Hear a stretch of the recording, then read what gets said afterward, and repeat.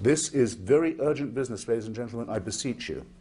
Resist it while you still can, and before the right to complain is taken away from you, which will be the next thing. You will be told you can't complain because you're Islamophobic.